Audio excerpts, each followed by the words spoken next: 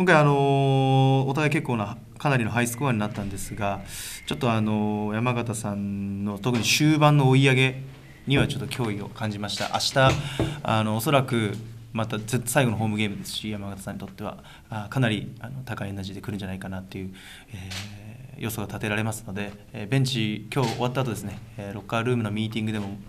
えー、勝って兜のを締めるじゃないですか。必ず、えー、明日2連勝できるように、えー、絶対に油断しないように最高の試合をしようという話はしました、え、残り5試合成長できるようにやっていきたいなと思います、はい、以上です。選手たちはまず、え一生懸命本当に戦ってくれて、えーまあ、気持ちを、えー、プレーで表現してくれたと思ってます。で、まあ、その中でやっぱり相手の外国人選手に、えーまあ、自由にやらせてしまったっていうところが、まあ、反省点であるので、まあ、そこはしっかり対策して、えー、明日勝ちに行きたいと思ってます。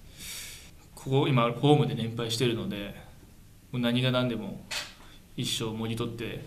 えー、ホーム最終戦を、えー、ブースターの皆様と勝利で、えー、終わりたいと思ってます。以上です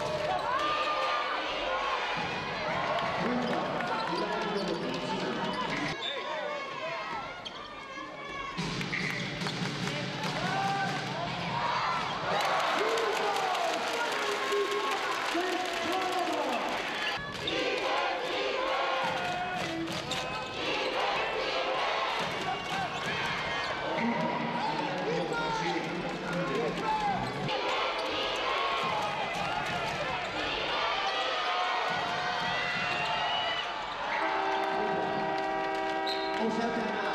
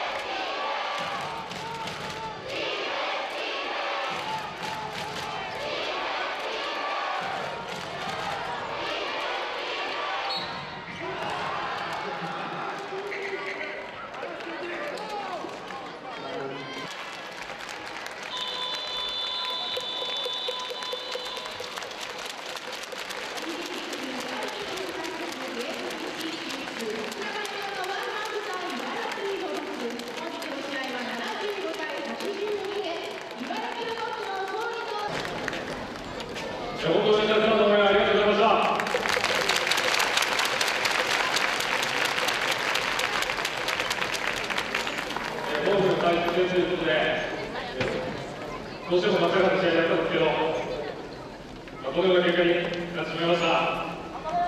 えー僕はプロなので、やっぱり結果で皆さんにお返しすることが一番だと思ってます。えー残り4試合アウェーですけど、試合があるので、もう一度、えー、仕切り直してやりたいと思います。本当に今日は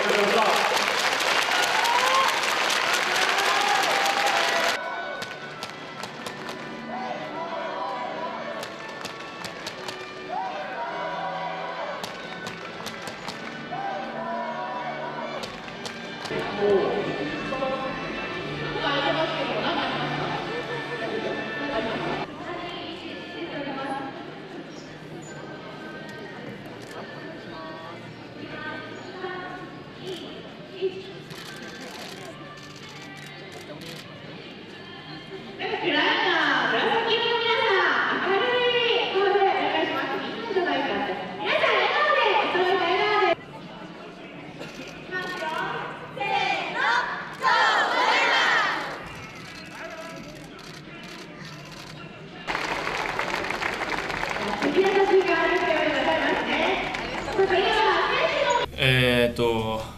まあ、まずこのホーム最終戦ということで、まあ、何としてでも一勝したかったんですけど、えーまあ、連敗してしまって、えーまあ、ブースターの皆さんにはちょっと残念な思いをさせてしまったなと、えー思っています。